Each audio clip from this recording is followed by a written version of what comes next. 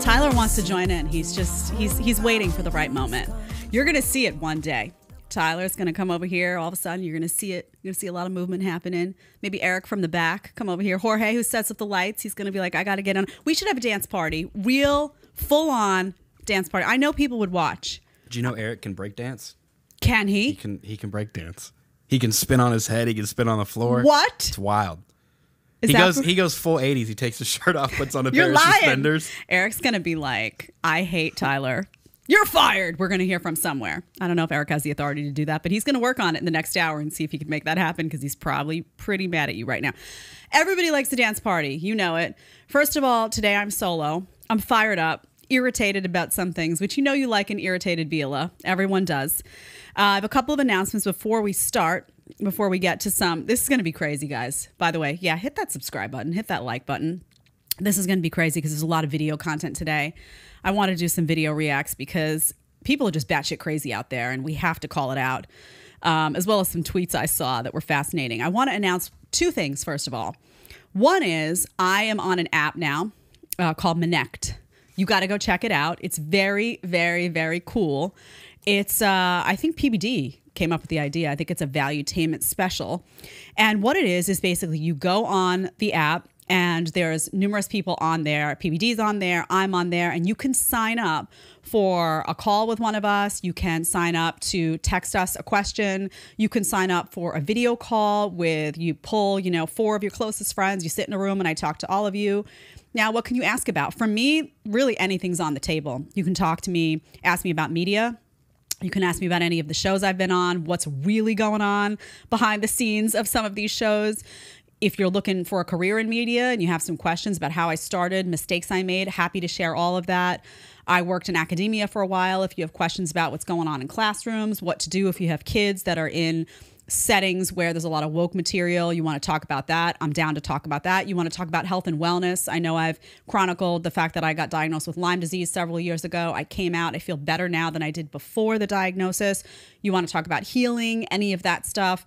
I'm down for that. You want to talk about kids? I have a kid. I've made some mistakes. I do some things really, really well. Any of that stuff. I also grew up behind the Staten Island dump in a small condo and I launched this whole career. So if you need advice as to, hey, I'm don't come from money, I'm not really sure how to do this, what do I, whatever you want to talk about, I am down. You want to talk about dating and relationships? I will tell you. Listen, I know. I know you want to know what we're really thinking.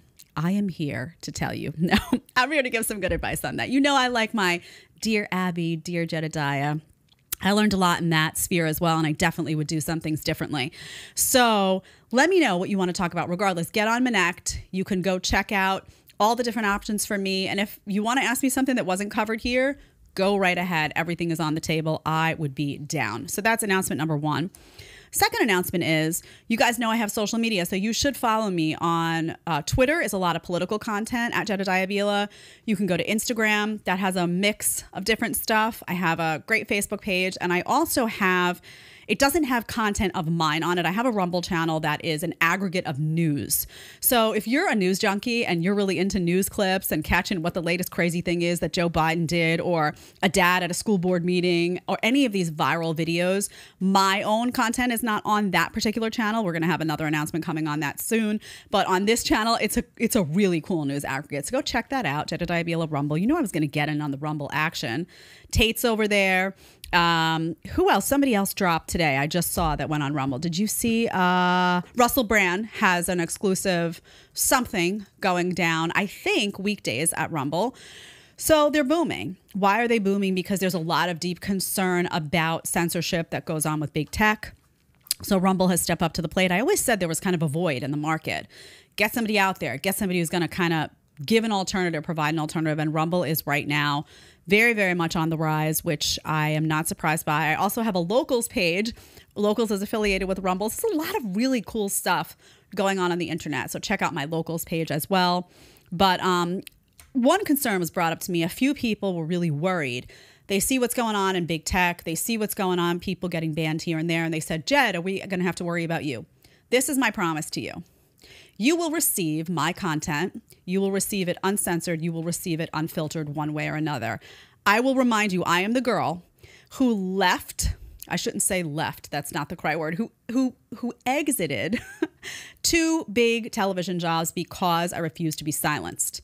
I also refused a third job, big money, big promises, big covers of magazines, all that stuff comes along with it, big interviews, all that stuff. I said no, thank you, because I wouldn't get an experimental vaccine. So I care very, very deeply about this issue of censorship. I will not be silenced. I will not be censored. You do not, you do not, I repeat, need to worry about that. I'm figuring it all out. Don't you worry. So today I want to talk to you about some stuff. Some of it's crazy, some of it's funny. We're going to do it all. The first thing that caught my eye was an image. Okay. I'm scrolling through Twitter. I like Twitter. I do. I know people get banned there too, but it's entertaining. It really is. And I look there, and this is from Dr. Shawn Baker, and it says, Can't wait to see 2042. Okay, this is these Calvin Klein ads. You look on the left, that's from 1992. Okay, that is Kate Moss.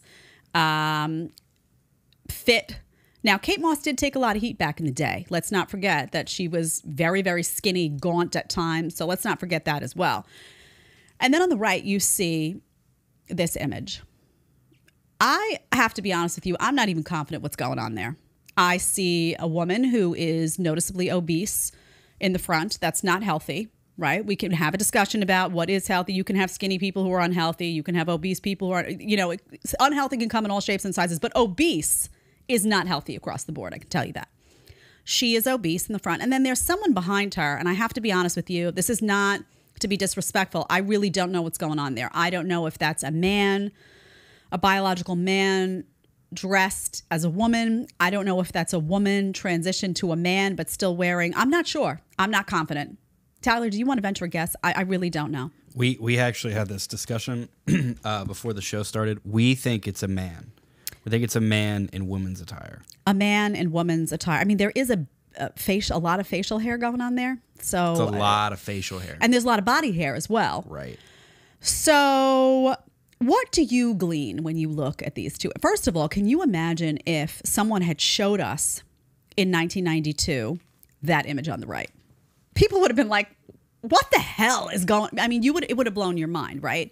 This is the creeping normality that we talk about creeping normality of madness where you know they inch in little by little with the madness so you don't you're desensitized to it and then you wake up one day and it's just normal. That does not look so much normal to me. Something odd is going on okay? Not to mention that now we're in the trend and we've talked about this with cosmo and self and all of this where obesity is being glorified. We showed those images of this is healthy, and it's like a very morbidly obese woman.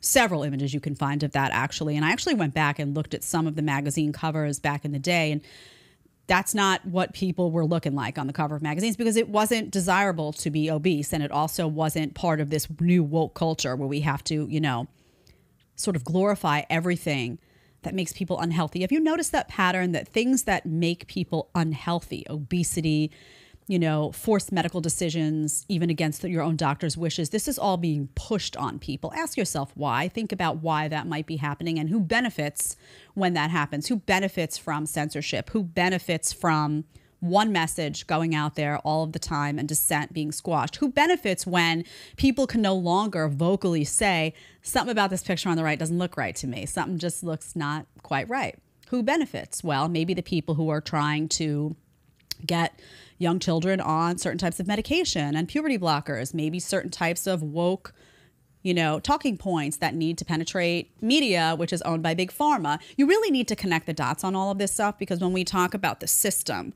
you know, it's a very important conversation. You're talking about um, you know, the FDA, the CDC, all of that, big pharma. Then you're talking about Silicon Valley.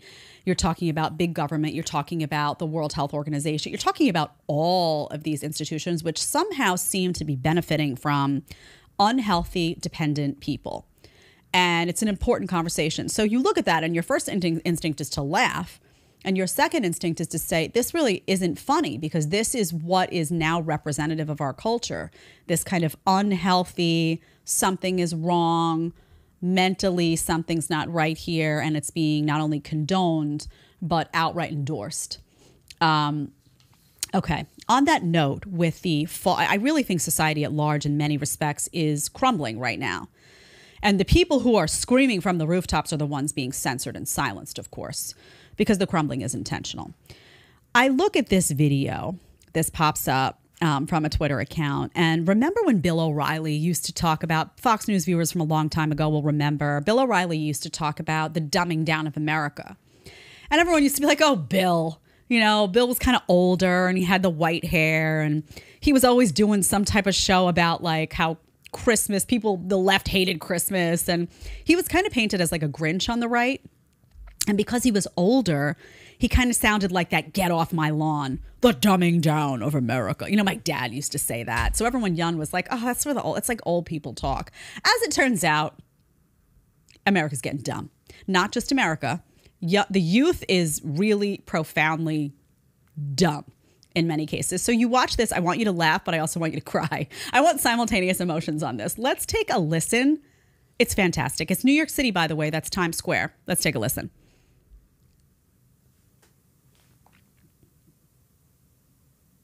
You got volume? Let's see. Yeah. Somewhere. Somewhere over. The, oh, here we, go. we go. Here we go. Originally. Um, I definitely don't know. No, give me give me your best guess. I guess a country. Hmm. What is a country again? Do you know what country the Panama Canal is in? No. If you had to guess, like what do you think it sounds like it's in? Guess a country. Europe. Yes. Do you know how many moons the Earth has? Around how many, if you had to guess? Two. Yes. Do you know what time this is? 5, 10, 15, 20, 25, 30, 35, 40, 45. Uh, 245. Yes. Do you know what country the Great Wall of China is in? Country. Yeah. If you had to guess. Japanese. Yes. Do you know what the third month of each year is? Ain't that leap year or some shit? Yeah. Do you know what 15% of 100 is? Fuck. Around what it is, if you had to guess. Probably like 75. I don't know. Yes. Can you name all the months? September, January, February, March, April, May, June, July, August. Yes. Do you know what 7 plus 7 plus 7 is? 28. No, no, no, I'm bugging. Um, 14 plus 7. I don't know. What do we call a, a shape with five sides? Is it an octagon? Wait, that's six. That's eight. Octagon is eight. Is it a stop sign? Call it a stop sign? Didn't you know? So Tyler, we laugh. We laugh. It is funny. You have to let yourself laugh in life because honestly, life's just too short not to laugh. But terrifying. That's real footage. And he has a bunch of those. You can go and you can watch just over and over. It's not like, oh, he really had to work hard to get 10 people. To, it's everywhere. Everywhere. So y'all laugh when I say abolish the Department of Education. But you know it's true because those kids are probably in school coming out and they don't even know. I mean, come on. Somebody says to you, and the best part is when they say, she doesn't even say Japan. She says Japanese about the Great Wall of China. It says the Great Wall of China. Of China is in the sentence. So here's my points on this. Number one, I think it's important to do these, these man on the streets, because you have to expose what's going on, right? You can't just me sitting here and saying, "Oh, the dumbing down of America." It just doesn't translate the same way as you see, "Oh, wow, these people are dumb." And you have to be able to say dumb. I don't want to hear like, "Oh, you're hating on, you know, the, the intellectually challenged." I'm not going to say the intellectually challenged. Dumb is dumb. This is dumb. These people are not properly educated. So here's my issue. Number 1, what's going on with education? What is going on with education?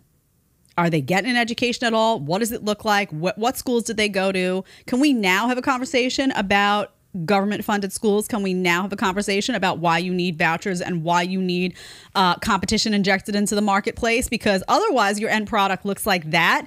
You don't need to send your kids to school parents to come out and they can't tell you where the Great Wall of China is. Okay. And they answer Japanese. Okay. Some of those kids, I don't know, did they go to college, high school? I mean, these are older individuals in some cases. okay. Secondly, where are the parents? Education does not stop, begin, and end with school. So, where are they? Are there no conversations happening at home about anything? Truthfully, think about how much you learn at school, right? How much you're supposed to learn at school, I should say. But all of that actually continues or sometimes even starts at home around the dinner table. You're always re- I'm always reading with my son. I'm always talking to him about shapes and colors and you know observing what we see outside and oh that's this and you know animals and so what what is going on at home? Are there absentee parents? We always talk about that too. Absentee parents is there not are parents not invested in in their kids at home? Are these kids now that are just staring at a phone all day and they're not interacting with the world? They're not asking questions because they're like this all day. What's going on? What's broken? It goes beyond the educational system.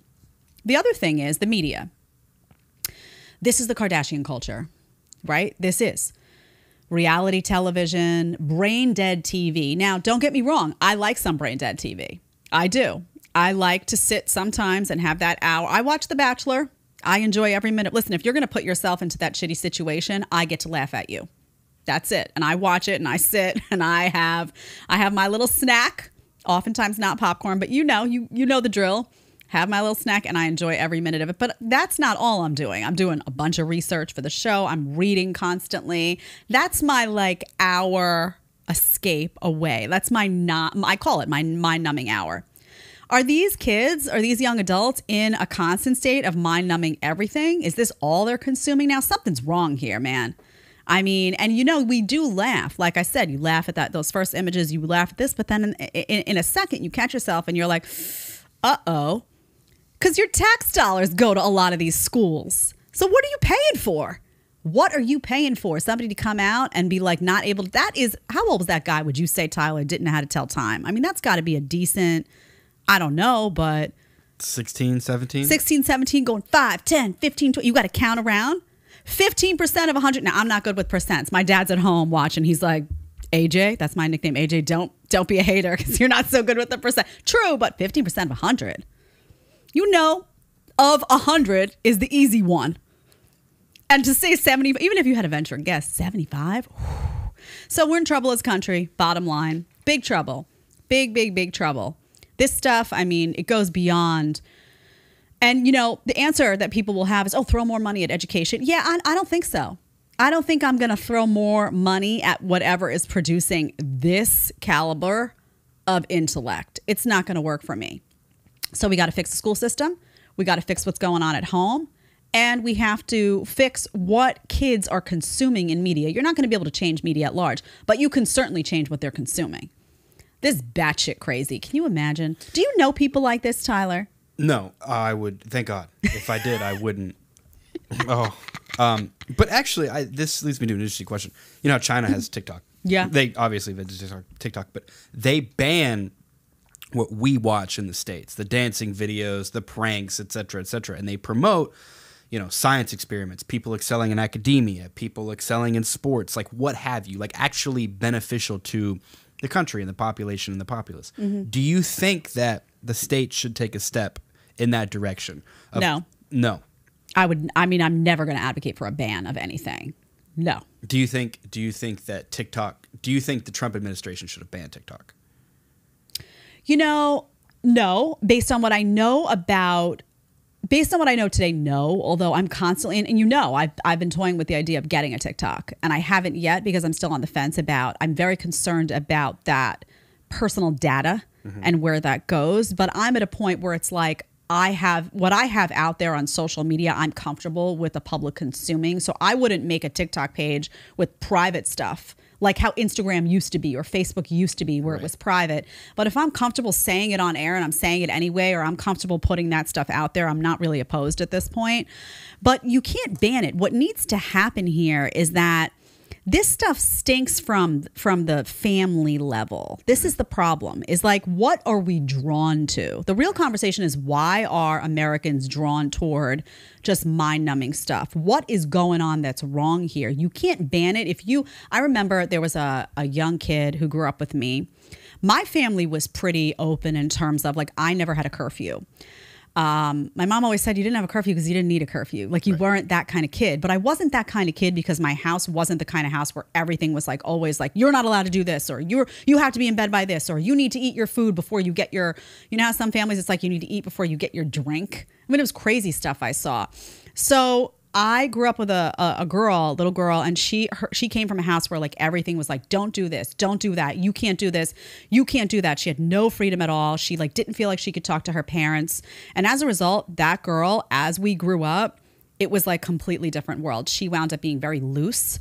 She wound up sleeping with a bunch of guys. She wound up doing a lot of drugs. She wound up tr- drinking a lot, coming home, crawling through the window. And I was just sitting at home doing my schoolwork because I had the kind of thing where like I could talk to my parents and they really kind of talked to me about things as opposed to said, you can't. They said, here's why you might not want to do that. And this is what could happen. And this is what I did. And this is how it didn't work out so well for me. So, I think it's more about communicating with young people in a way that makes them feel like they can talk to you. And they don't. So they go into these circles and they hide and they kind of try to figure things out on their own and they shut their parents out and they shut adults out. And it's just toxic.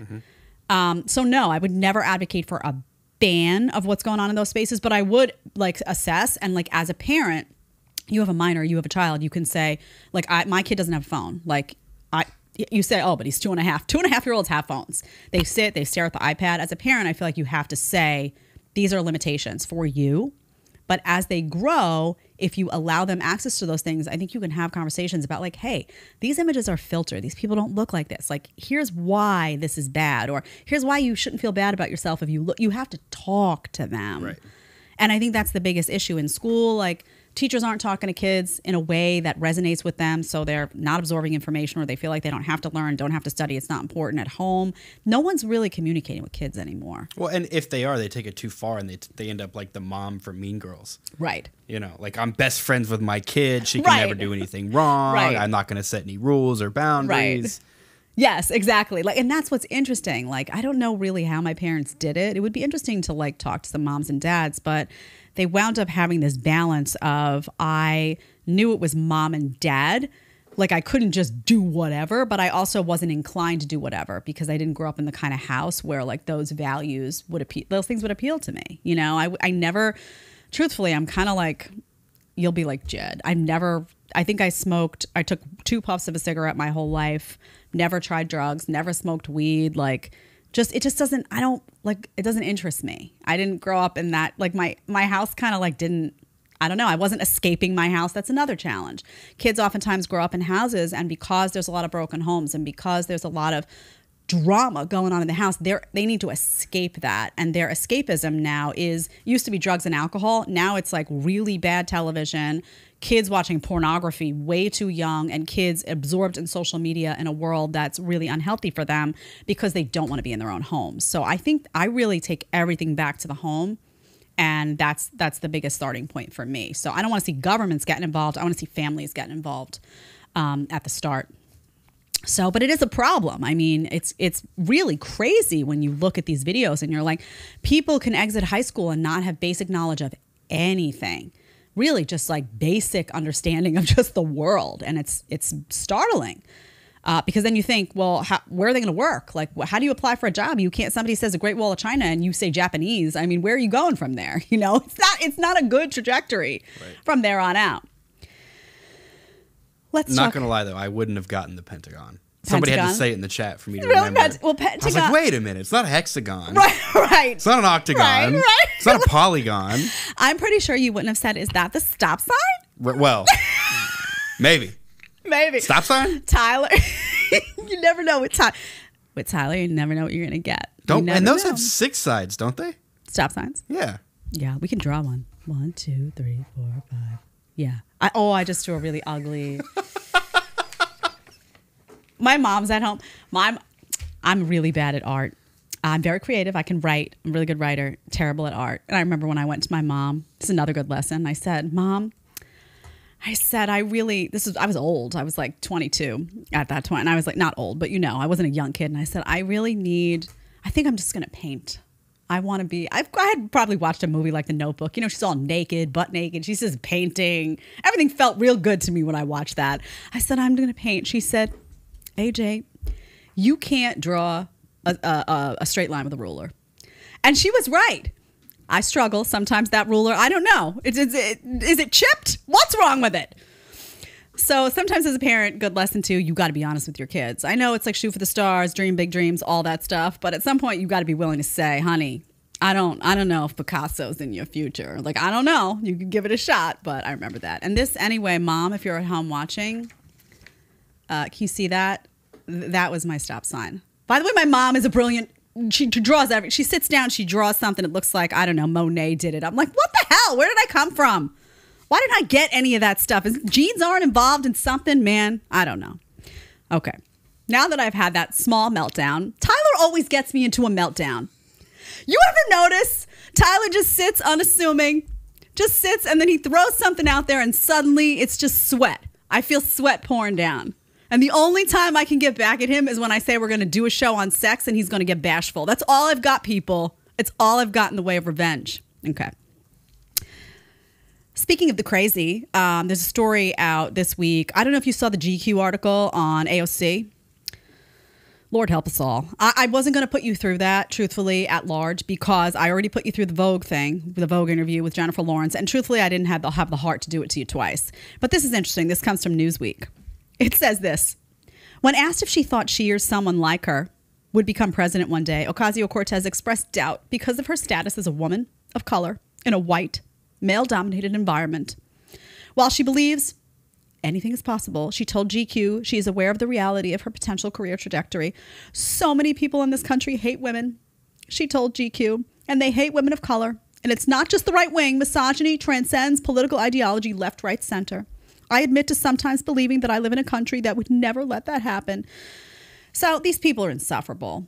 These are the same people, by the way, that screamed and ranted and raved. Oh, this is a racist country. This is racist, racist. Country is racist through and through. And then that's the same country that elected Obama twice.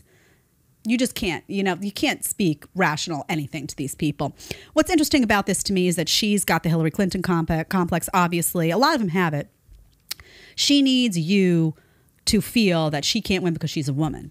Maybe she can't win win because the vast majority of the country wouldn't agree with her policy wise. That if she actually got on a debate stage and she stepped off, you know, stopped tossing her hair and doing her little videos about what was that a garbage disposal? You tell Yeah. me never seen a garbage disposal before. You know, she relates to the TikTok audience. I get it.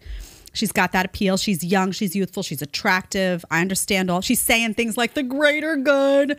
And if you've been dumbed down, by the way, like those people in the other video, her shit will sound good to you. So I get it. But maybe when she hit the debate stage, that wouldn't work so well. And she actually had to talk about policies and cause and effect. She also has no executive experience. Maybe that would be a problem for her. Not the fact that she's a female, the fact that she's never run anything.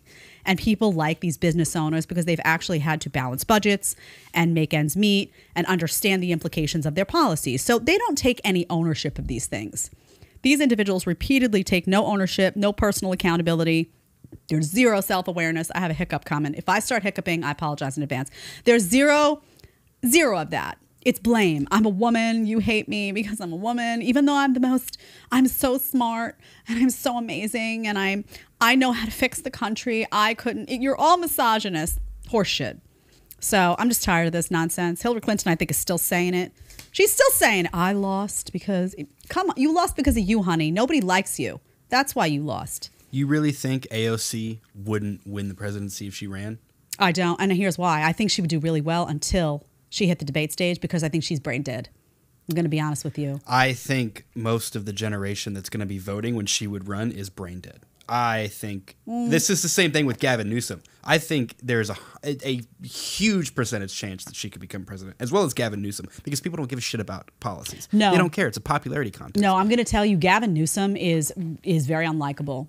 Um, he's not going to read likable like to people. He's got that like kind of slimy used car salesman vibe to him. I don't think that he would. I really don't. I think he would have a very hard time. And also, there's so much hypocrisy in his own background in terms of like him going off and living at large during the lockdowns. There's too there's too much dirt on him to be brought out. I don't think. I think once you get the machine behind you, I don't think the people care that much. And it's sad. I think the state of politics today is we're going to get everybody out that we can to vote.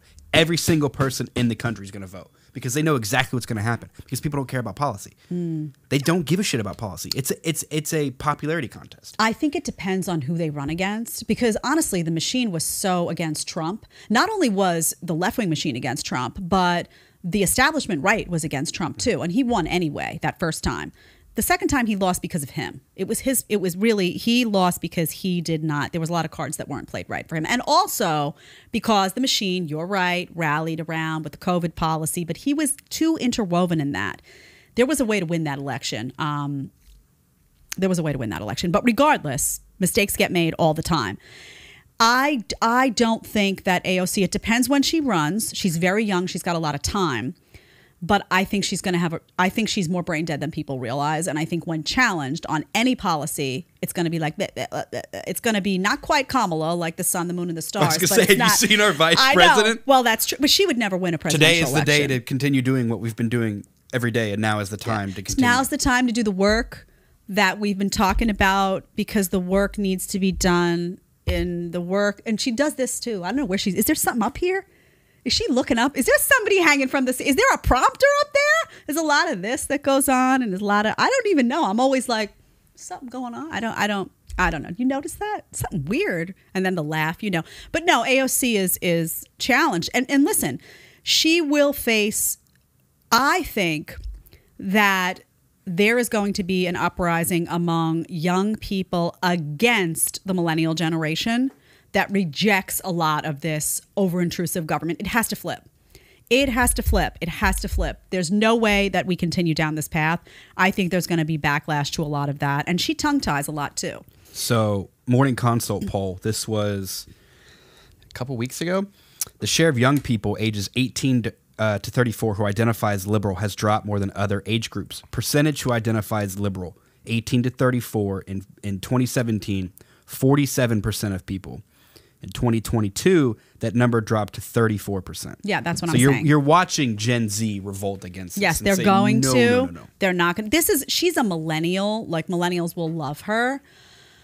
There's going to be backlash to this. I'm telling you. Um, they're they're they've gone too far, and I'm really curious to see how Gen Z. I'm very very curious how to how the next generations post millennial. I don't know all the the the letters. I don't have them all right, but they're going to react to this differently. She's she's not going to be able to win a presidential election. Um, machiner. She's going to need one hell of a machine. I don't know. She'll need to mess with some voting machines. I don't know. Okay.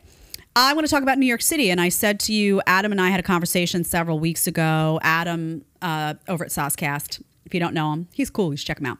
Anyway, we had a conversation about New York City. He had gone to New York. I hadn't been there for four months, but lived there my whole life. And he was like, "No, it looks great, it looks great." And I was like, mm. "So then I went to New York, and it looked like cesspool." So I came back here, and I said, "Did they blindfold Adam and send him around? I'm going to need to bring Adam on. Adam's going to come back on. Don't you worry. We're going to have that debate."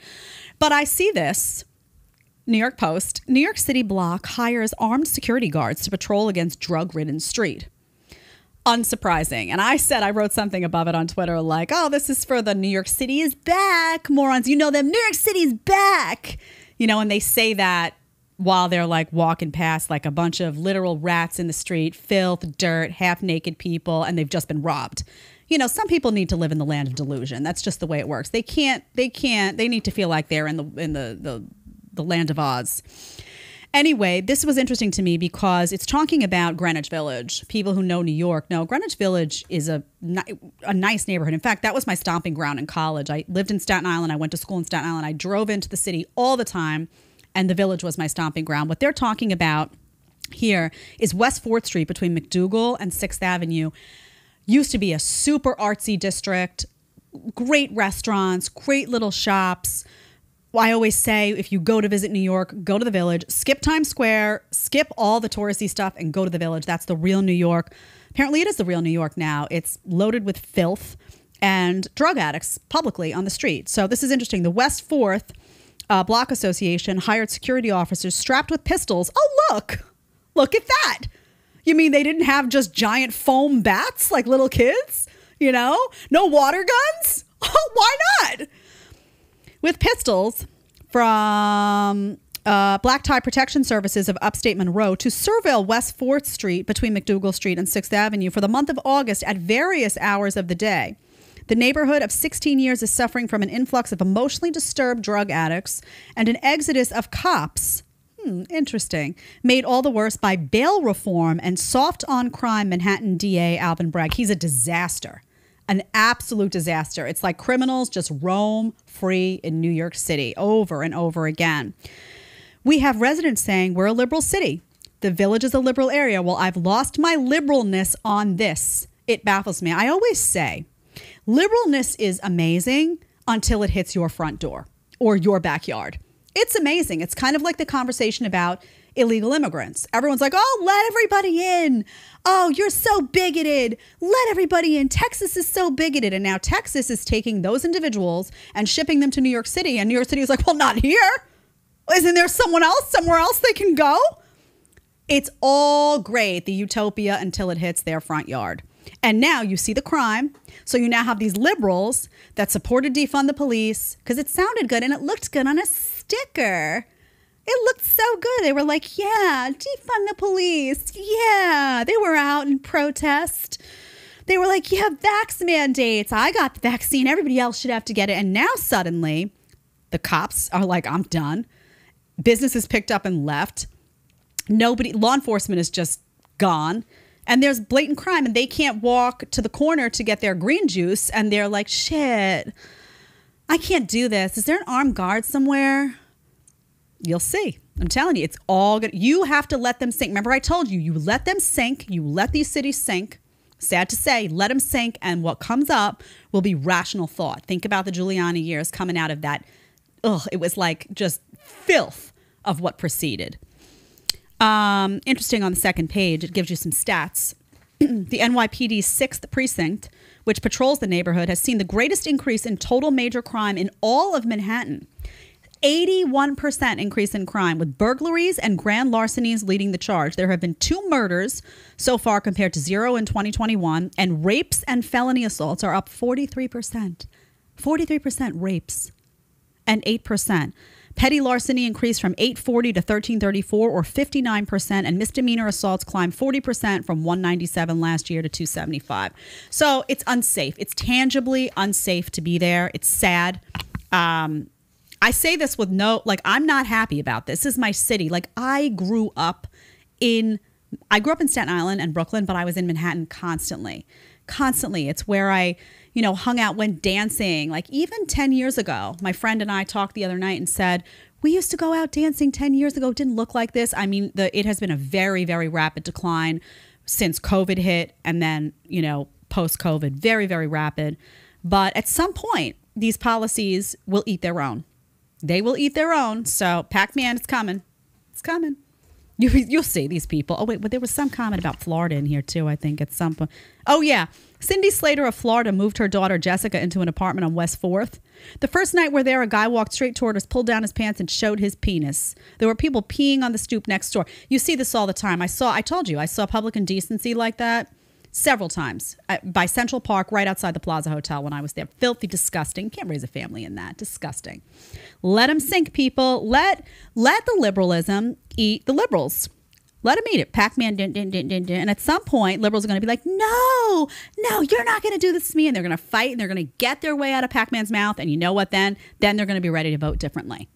Ultimately, that's what it's going to take. Maybe, maybe, maybe, if you're lucky. Okay, I want to get some videos. We got some fresh and fit stuff here. I want to get to some dating stuff. Let's go to the first video. Uh, this is from Fresh and Fit. I think this is Myron um, talking about good looks. This isn't all controversial. Some of it is just an important message, I think. I like this one from Myron. I think he's right. Let's play it. For dating. Absolutely. But here's the thing if you're a good looking guy, but you don't know how to speak, you have no social calibration, or you're weird, she's going to quickly get turned off by you. Good looks, all it does, guys, is it allows you an entryway, right, to communicate so that you can spit your game. But if you come off weird or awkward, eh, she's probably gonna walk away from you unless you got some kind of status or some kind of other amplifier that makes up for your lack of social calibration. But good looks are definitely important and help you get your foot in the door. But to keep the door open, you need the game. This is, I think, a really important message that he's sending here.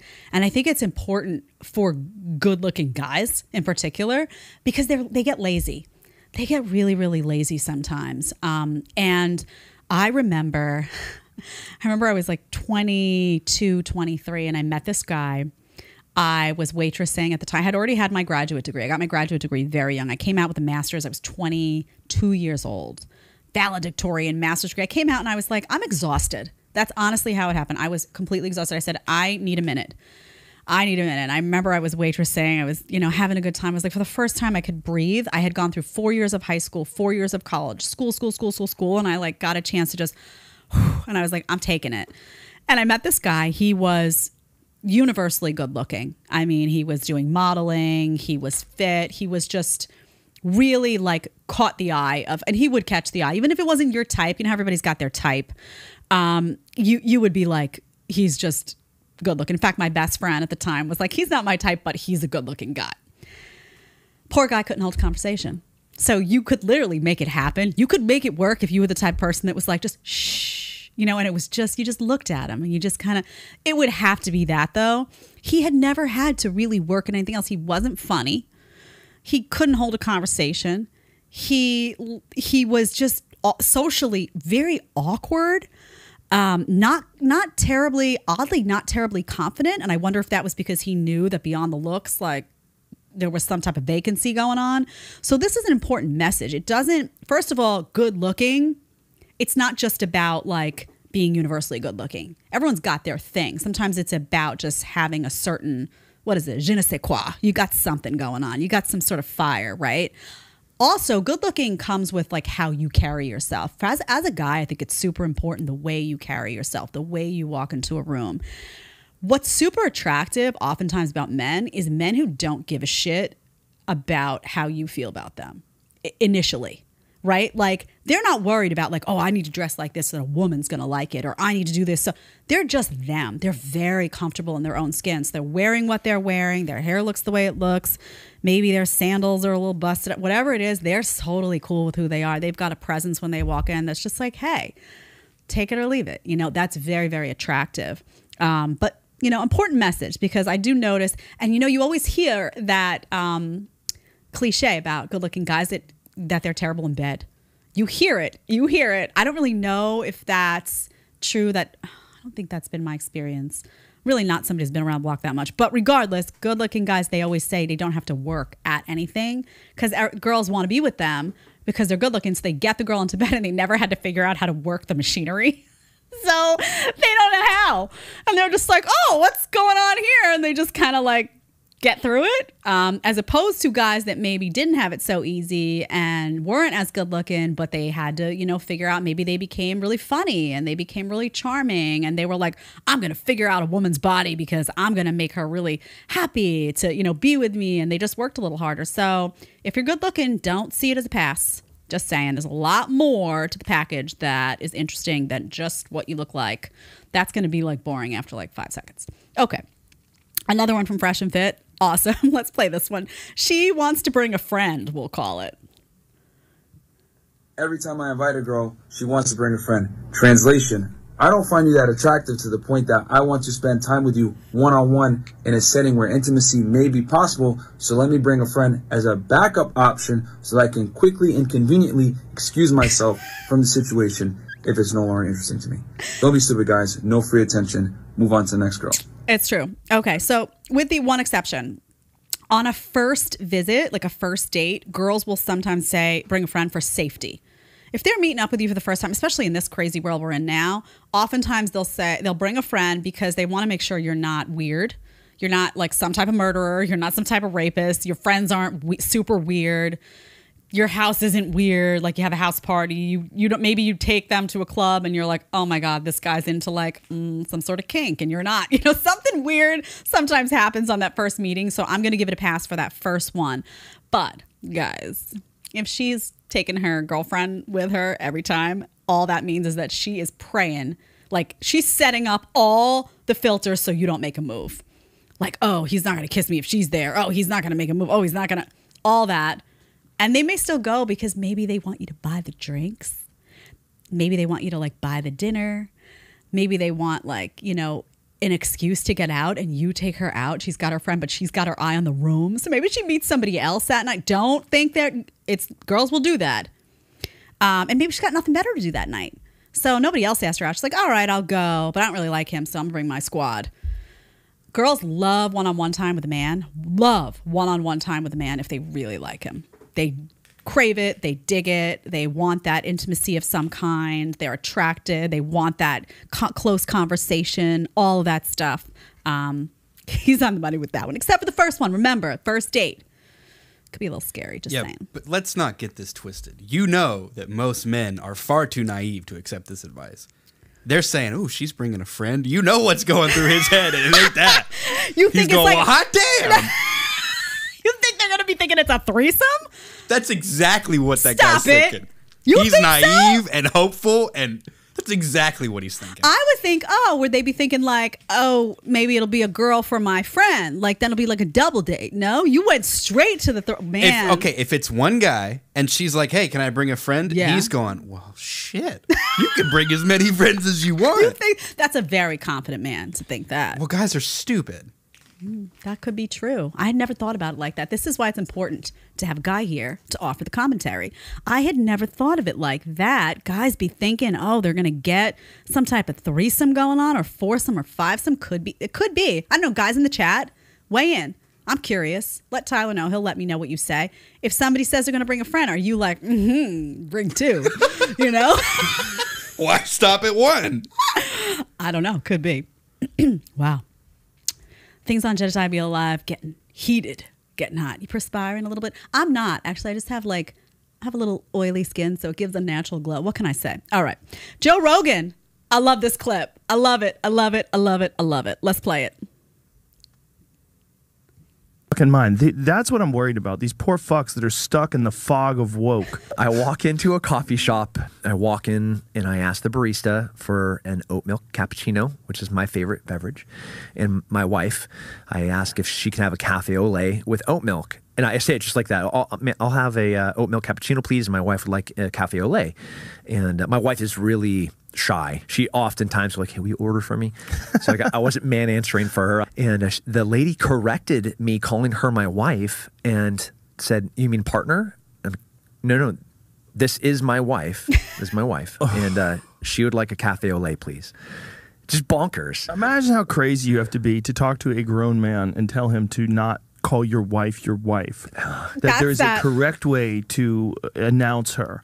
Young people This is the feminism. This is it. You know, you can almost imagine what that girl looked like behind the counter, can't you? Can't you just, you have a visual of it. I do. I could see like some like crazy like pink hair or some, you know, like a shirt on that like had some sort of logo like girls rock, you know, something going on. Gauges. Yes. Got the nose ring. the nose ring and she's just like that's not your possession you know she's in on your business like and you're like what that's my that's my wife what what's going on she's all like i gotta break down the patriarchy in this moment she's got zeroed in on you like a hawk these are very unhappy people what can i say you know very very unhappy people um you know it. You know the angry feminists. You've met, you've encountered them before. You've had these conversations with them before, and they do it every time. It's like, and you know, people get mad at me. By the way, sometimes. let me correct this. Sometimes I'll say like my marriage is a partnership, or like my husband is my partner. I don't mean he's not my husband. He's the man. I'm the woman. Husband, wife, very much so. What I mean by that is very different. Is like just that we share in a lot of responsibilities at the household. And it's like sometimes I'm cooking, sometimes he's cooking, sometimes he's got the baby, sometimes I've got the baby. We have a very unique situation with two people that have really odd jobs. It is what it is.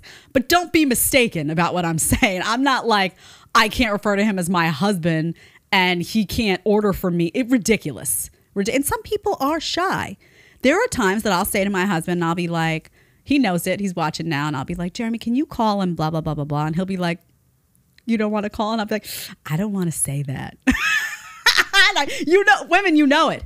You know, sometimes you don't want to do something and you're like, babe, could you, you know, and we put them up to it and they do it because they love us and they're like, all right, babe, you know, I'm to order your cafe, whatever. I know there was a whole group bunch of people in there that were like, why is he drinking oat milk too? Don't think I didn't catch you guys out there. They're like, oat milk? Come on, get some raw milk. I know.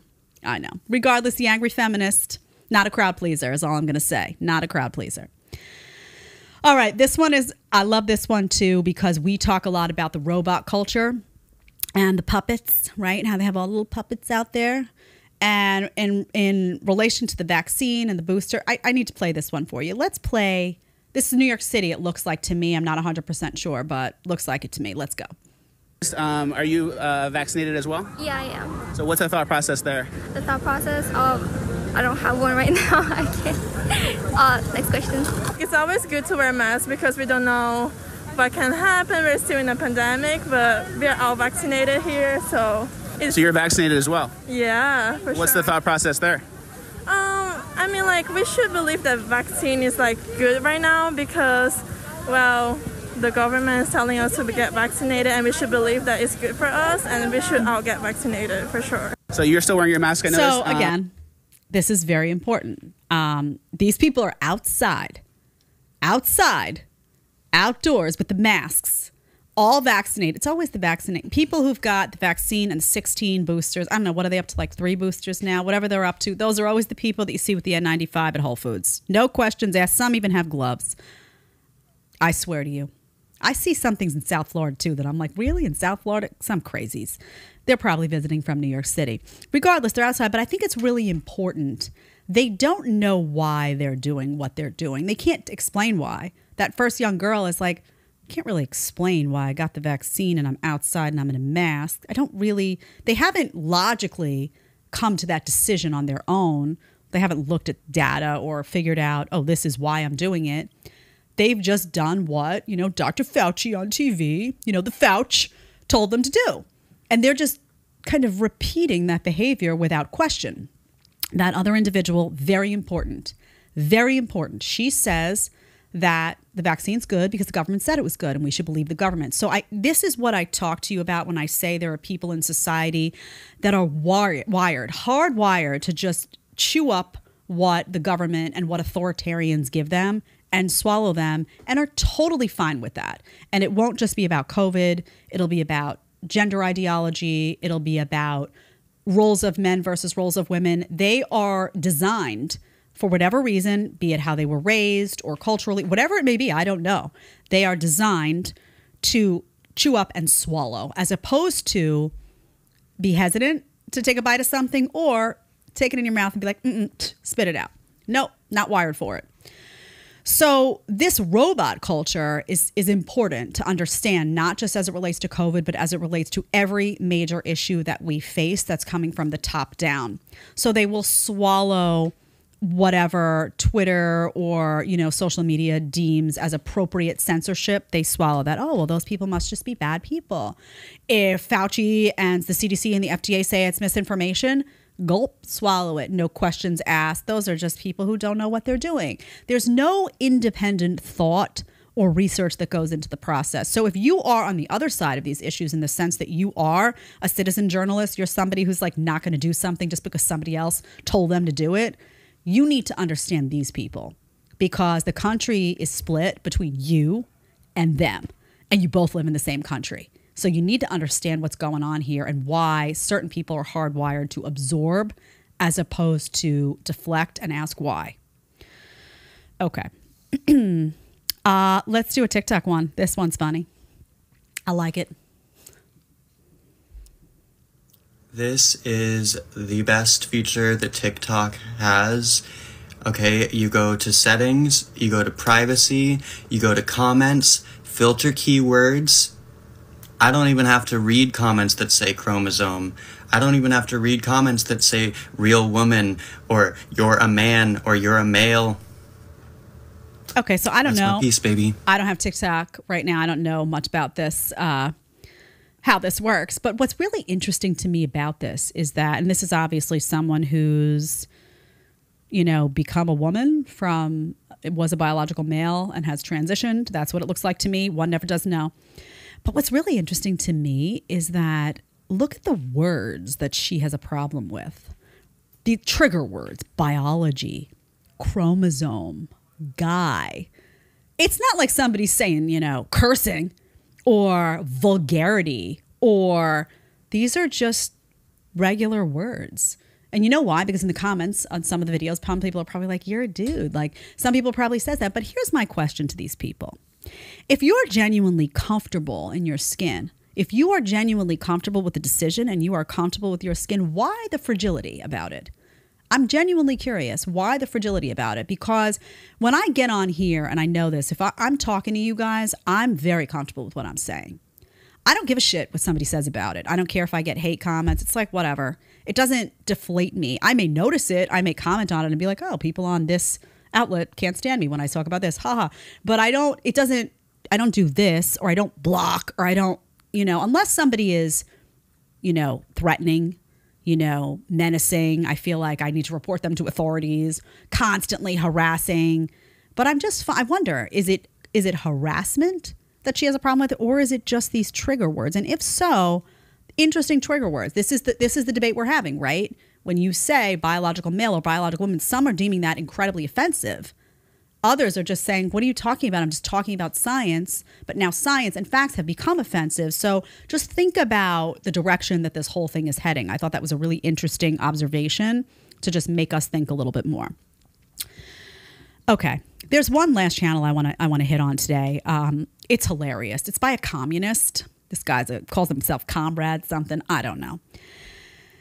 We're gonna look at the first one, um, and then we're gonna play through the second one. Let's do the first one first.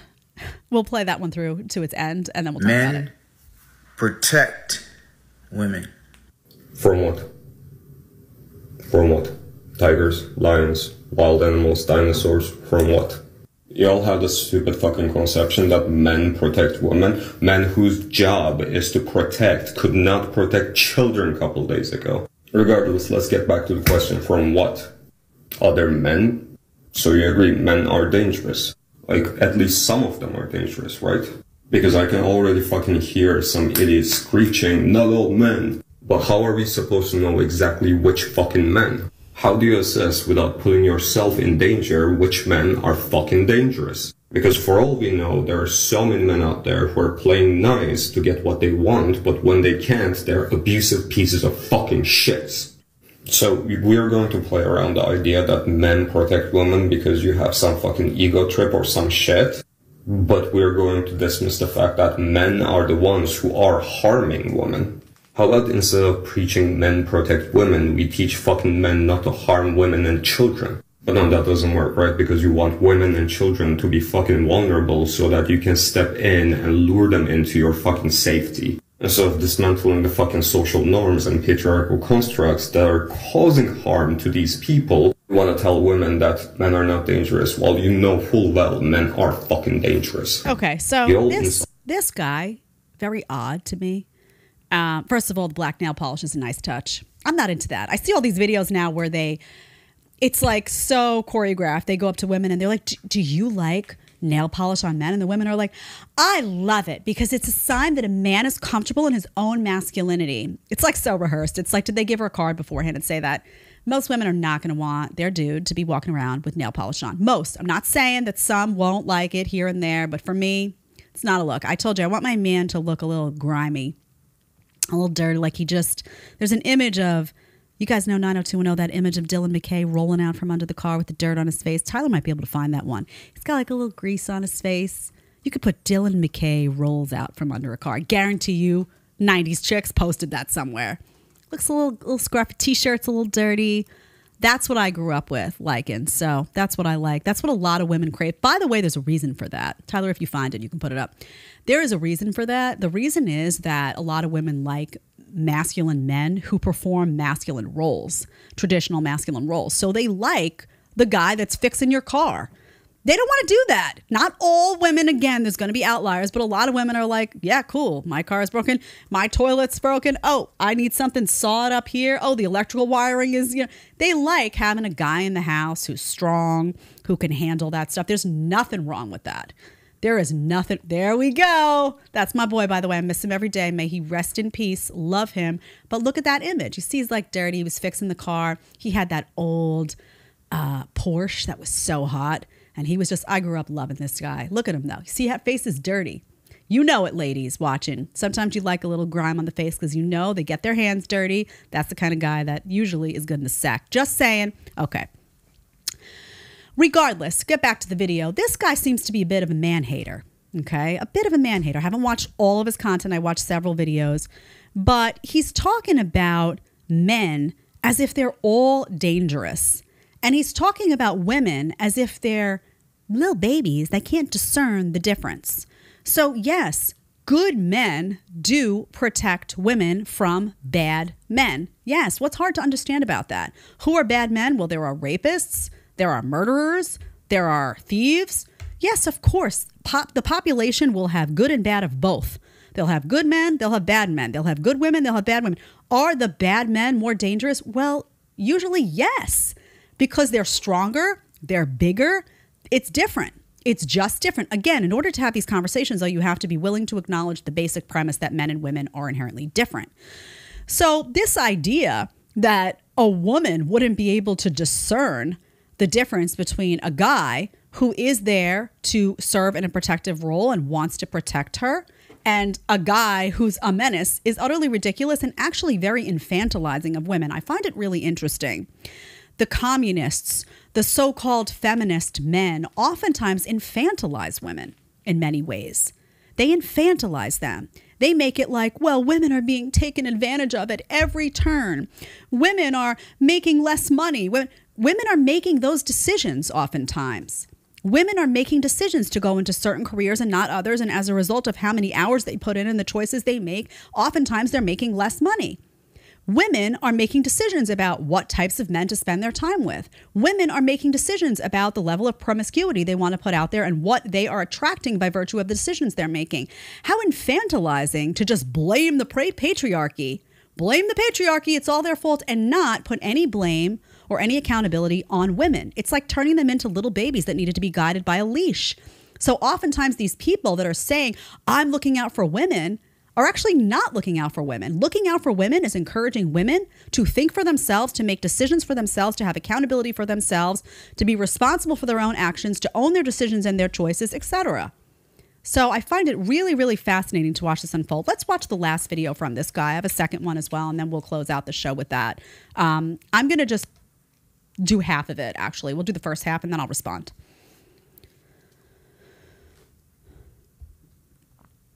the fuck told us women that we should weigh 120 pounds? Women. No. Are you fucking serious? What in fucking deflection is this? I'll fucking tell you who. Capitalism and fucking patriarchy. In the fucking 50s, it was you should put on some weight. In fucking 80s and 90s, you should lose some weight. In early 2000s, you weren't considered beautiful unless we could count your fucking ribs. The fucking model industries just started to accept plus size models. Industries controlled by men. You're gonna fucking tell me it's women who set the beauty standards? The fucking audacity. Capitalism literally tells people that they don't look beautiful so they can sell the fucking cure, a product so they can fucking profit. Patriarchy is so far up our asses, not only they tell women how they should look to be beautiful in order to control their bodies, but also tell them whether or not what they can do with their bodies, like abortions. Okay, so let's this motherfucker. This guy is, I mean, this is, he calls himself comrade, whatever. I guess he considers himself a com. Does he seem happy to you? I'm just asking. Does he seem like a happy person? If you had to just say yes or no, you don't. We don't know him personally. Maybe he's the happiest person I know. It doesn't come off that way. You know, I don't know. Maybe it's just a vibe I'm getting. Um, first of all, he's wrong. For capitalism, you, you just don't get to blame capitalism for everything. It doesn't work like that. Again, think about the mind of a liberal, though, because this is very on point. Liberals blame out, they don't blame within. It's this one's fault. You're a bigot. You're a racist. You're the, it's all out, right? It's not what decision uh, did I make? Maybe this wasn't right. What accountability do I have for my actions? It's not a personal responsibility culture. Liberalism is not grounded in that. So again, he's wrong. Women, first of all, judge other women vigorously, all the time. Oftentimes, women set expectations for themselves based on other women and the way they'll be judged by them. All it happens all the time. You walk into a room, women are always judging other women. I've said this before. They'll spot, you know, one hair didn't curl pop. Here, you see this piece of hair I got here?